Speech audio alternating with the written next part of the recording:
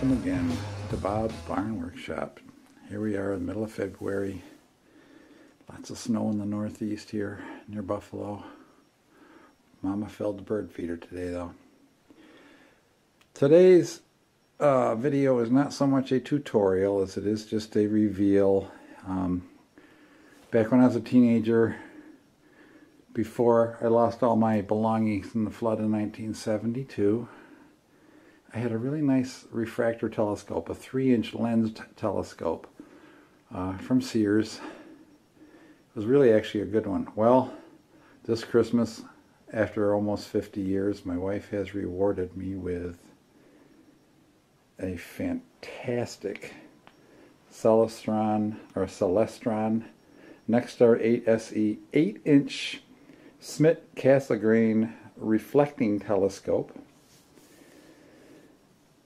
uh, has huge light gathering power. It is computer controlled via this handheld remote, which is on a cord like a phone. Has a rotating mount. Once you sight this in and align it, you can tell the remote to go to any celestial object as long as you put the proper date and time in. So it knows where to look and it'll point at that object without having to search for it. Uh, one thing I added almost immediately was I added a Barlow lens, which is a doubler. This is a this just basically doubles your power of any eyepiece. I got a moon filter because the moon is so bright you just need to dim it down a little bit. The other accessory I bought was an electric focuser. Now we're going to do just a little tour. I'm not going to try to show you. Again, this isn't a tutorial. This is just a show and tell. So I just turned on the power. Now, see it tells you to begin alignment, but I'm not outside and I can't aim at any objects. Now the sun is starting to come out and I did get a sun filter, but you have remote controls on here, watch. This is the one you want to start aligning it yourself. Now right now I've got in batteries, but it can be powered via a 12 volt remote, a 12 volt adapter. Back to the telescope. One thing I did buy almost immediately to was an electric focuser. From watching videos online, uh, it's so nice. Well, my dream is is to be able in the cold winter is when the best constellations are out. And with this electronic focuser and some USB cables, I can control the telescope outside from my laptop inside. So I'm not going to have to sit out there in the cold. I can look at I the next step if I want to show you is is I actually bought a video camera for it. So anyway we can go up and down here. This is just for rough aiming and the original uh, alignment. Of course it comes with a really really really rugged tripod. Well I mean you got to buy it of course so right now I only have one magnifying lens, and that happens to be a 25 millimeter, which gives this scope about 82 power because of its focal length. The giant 8-inch mirror gives it great light gathering power for my dream is is to do a lot of celestial and uh, astronomical photography. So let's set up that camera and maybe we can even get a view of the sun, seeing the sun is coming around. So all I need to do is I got to mount the camera on the back here. It mounts just like an eyepiece. Run the USB cable into the laptop. I need to run a program called Sharp Cap, which lets me uh, control the camera's uh, focus and all that. Not the focus, but the uh, exposure and uh, frame time. And I can collect a bunch of frames. And there's all kinds of uh, software you run it through that actually uh, takes whole, all the images and lays them on top of each other and averages them, and you get a much clearer picture in the end. But it takes a lot of processing time. So, being new to this, I can't tell you how to do it. I'm just trying to learn how to do it myself. So all I'm going to do is plug in the USB cable. So hold on a minute. So here is the little camera that I got. This is an SV Bony, SVBONY, 2 megapixel astrophotography camera. Now you don't have to take photographs with it. Now it fits onto your telescope just like an eyepiece. Plugs in with a USB cable. This is, this is, I'm just doing this for the first time, guys, so.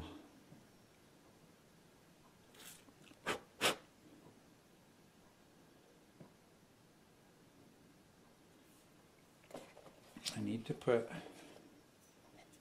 the adapter on. Now I have a filter coming called a, uh, keep this covered as much as possible. It's, it basically it's a stray light filter and what it does is it narrows down the bandwidth of the light that comes into the camera so you're uh, I don't know where the black's coming from of course I got this on uh, Amazon my USB cable the software driver. Now I think it's already installed, the software driver, because I knew this camera was coming.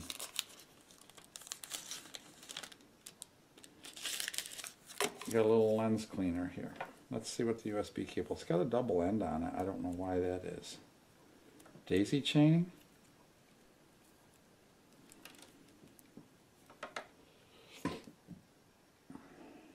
Didn't Margot.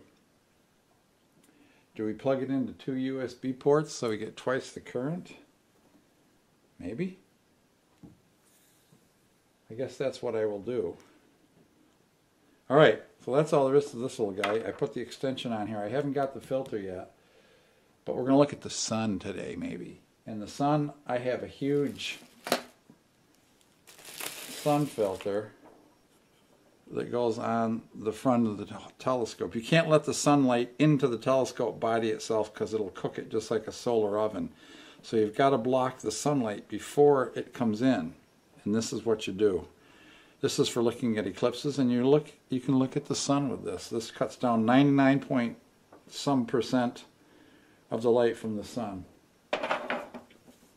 All right, let's get this hooked up. So I got my bony camera here. and I just remove this whole eyepiece that's on here and I put in my camera. Alright, now we got to remember we never, never, never, never, never look at the sun without that filter on the end. But right now we're just going to look out into the yard. I'm going to unscrew the lens cap here. And lens cap.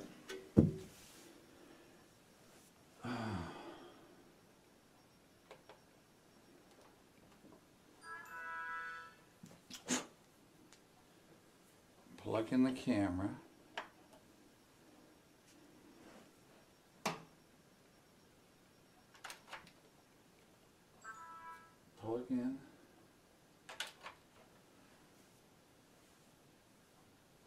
Says right for now it's saying installing the software driver to wait. Of course if I do this outside I'm going to have to get a USB hub or something to run out there because I'm going to have the USB control of the focuser motor too. So I've just plugged in the USB cables here to the camera and I just started the software. Alright, we'll come back when that finishes loading. So I've taken the camera off in the telescope so I could figure around with this, figure around with this. And um, I was running a program called SharpCap, which was outdated. Luckily, the DVD disc, that, the CD that came with the camera had the proper uh, version of Sharp Cap 3.2 something. Okay, so this is the Sharp Cap program running with my camera, and right now I got the lens cap on it.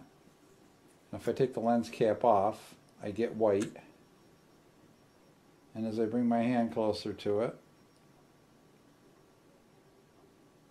it gets darker and lighter.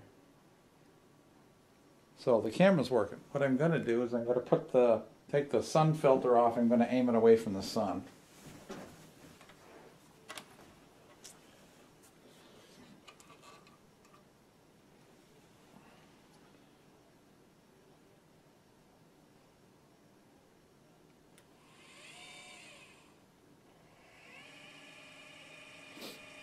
We'll see if we can see any land objects or anything like that out the window. Now it's going to be blurry. Oh, I got the sun filter on there. Yeah, I'm not going to see anything with the sun filter, am I? Alright. So now, see a lot of white. Right now I don't have the focuser hooked up to anything, but I'll have to look at the menu here.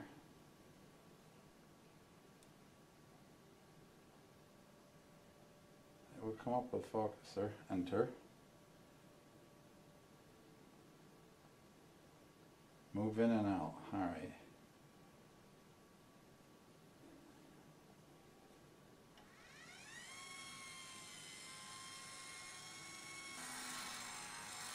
Sometimes they say you need an extension on this, so I'm gonna, oh, oh, oh, wait, wait, wait, wait, I'm starting to see.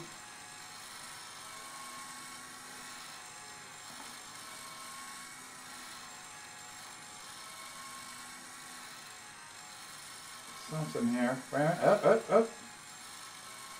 Oh, wait, wait, wait.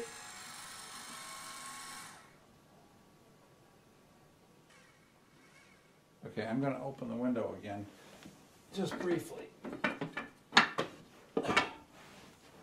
Cause it's cold out, and I don't want the dang cats running out, so I have to go after them. Especially my wife's cat. Alright. I'm gonna lower the exposure here.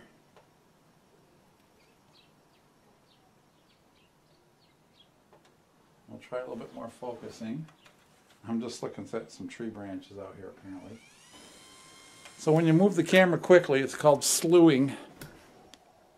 Oh, sorry, I guess you guys weren't seeing my images of the tree I was looking at. I did get to see a tree branch through this. All right, guys, well, seeing that I don't know one thing about what I'm doing, and unfortunately, I can't focus on the sun quick enough because the the sun moves very quickly. Or the sun doesn't move, the earth moves very quickly. I should have got you a couple of pictures though. I'm going to put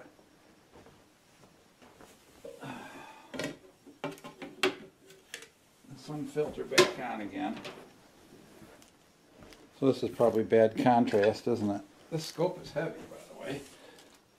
I'll move them out to the center of the room a little bit. Um, there's just two Velcro strips.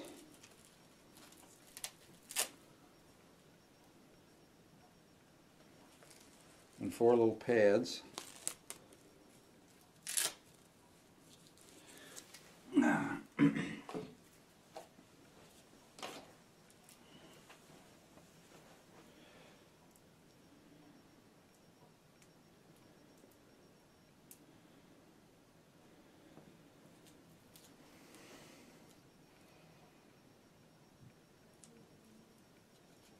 So you on.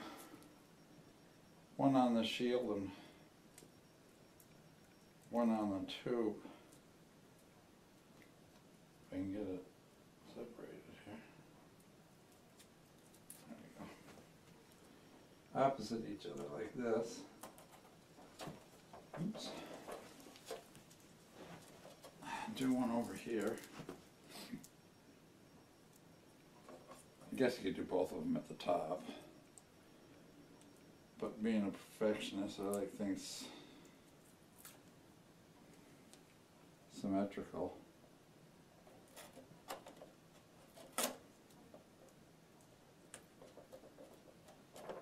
Put one there.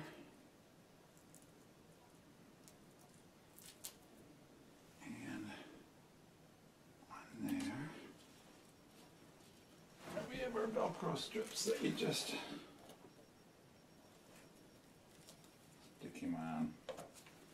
Now even though you might block a little bit of this lens, the lens is so huge that it gathers so much light, even if there's dirt on it, it doesn't matter to the Velcro, or I mean to the the sensor because it's got lots of uh, surface area.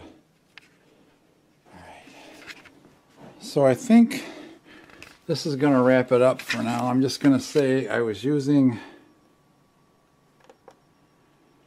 Sharp Cap 2 3.2 is the image capture software for the camera.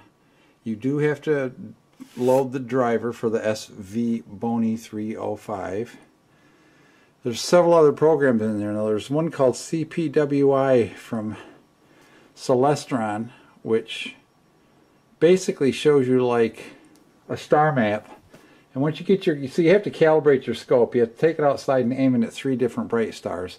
So it knows where it is and what the date is and the time of day and all that within a second. Then the stars will be, then it knows where to point. point and it tracks. So as you're looking at the star, you don't have to keep recorrecting it. The mount automatically follows the star. That's the best part because the stars move fast. They are out of view very quickly before you can get it focused even. So um, when you're looking into the deep sky, usually the focus stays the same anyway because the virtual focal plane is almost, you know, infinite.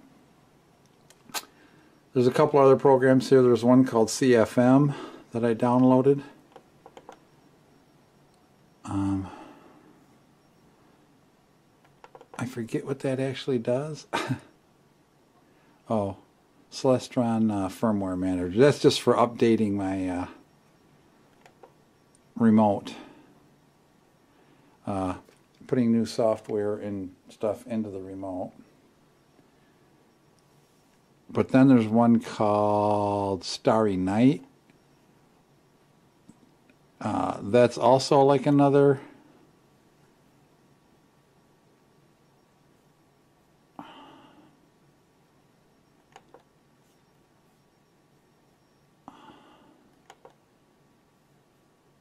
planetarium program.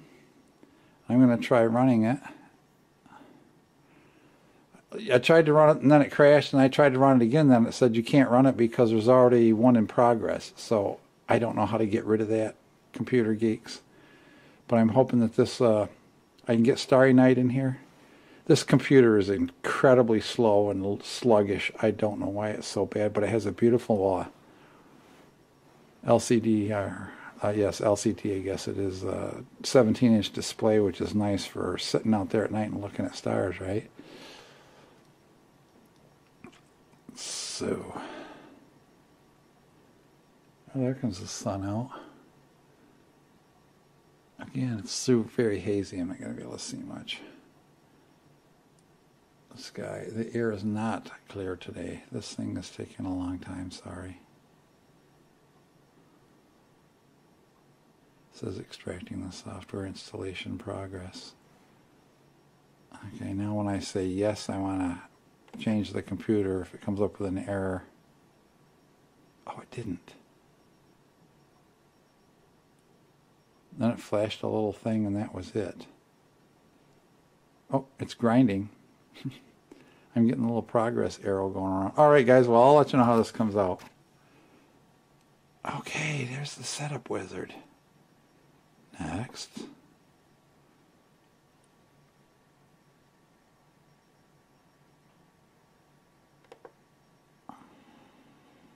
Okay, it's working. Yes. All right. Well, I'll come back when this all gets downloaded and we'll look at it.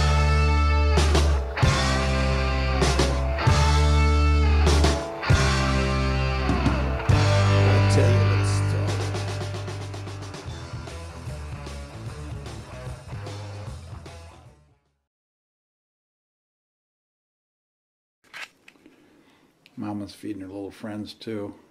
I don't know, are those cowbirds? Catbirds? There's a lot of them. There's some doves there, but those aren't sparrows. Those are, uh, they're almost all black. I think they're cowbirds. Of course, I thought cowbirds had browner heads. And then there's some house sparrows out there, the guys with the little black stripe on their head. And uh, doves. And I see what else. More of them catbirds up in the feeder. They kick a lot of the seed out, but the birds on the ground, oh, something spooked them. You can see who's watching down here. See, this is just like entertainment. That's Teddy. He's watching Birdie TV out here. 10 feet away from his nose and he can't do anything about it. Oh, there's a house sparrow there. English sparrow, we used to call them when we were kids. I'm going to look those birds up. I've got a bird book right here. I'm going to look them up and make sure what they are.